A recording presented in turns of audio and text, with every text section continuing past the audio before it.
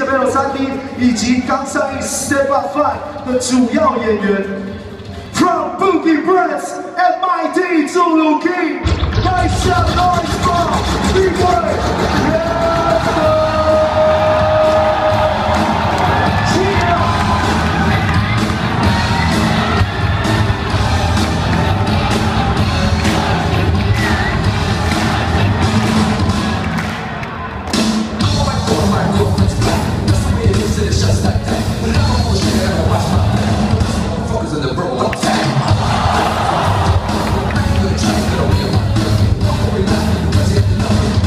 não ela podia. É